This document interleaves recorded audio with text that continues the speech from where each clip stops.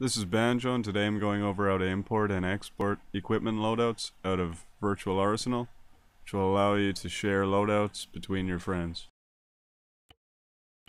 Once you're finished setting up your equipment loadout in Virtual Arsenal you have the option of selecting export which will copy all of the data to clipboard or pressing Ctrl C at which point we can tab out and enter Notepad.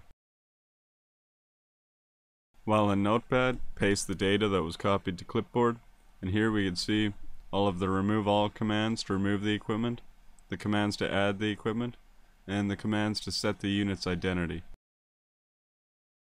Next, importing loadouts into Virtual Arsenal is done basically in reverse. We copy the data back to clipboard and tab back into Arma. In the example, we can see we have a soldier with the incorrect loadout.